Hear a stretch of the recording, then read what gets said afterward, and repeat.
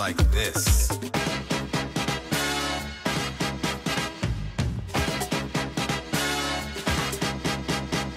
Then there was Larry Levan of the most famous club in disco history, the Paradise Garage.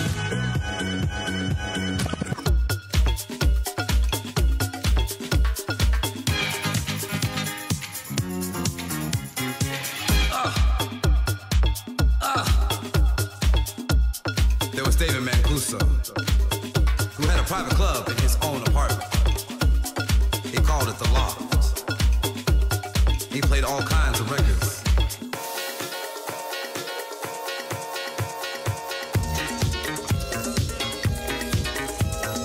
And from that, this.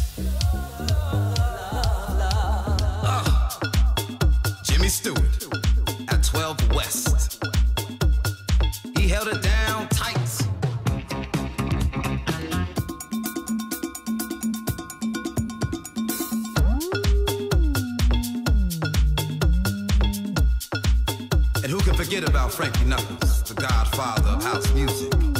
Blowing up balloons for Nicky Siano at the gallery when he was just 16 years old. After that, he started playing disco at a club called The Warehouse in Chicago, in Chicago, in Chicago, in Chicago,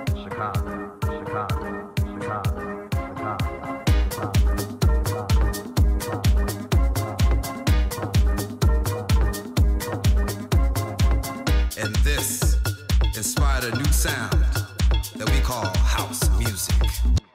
I'll leave it with Frank.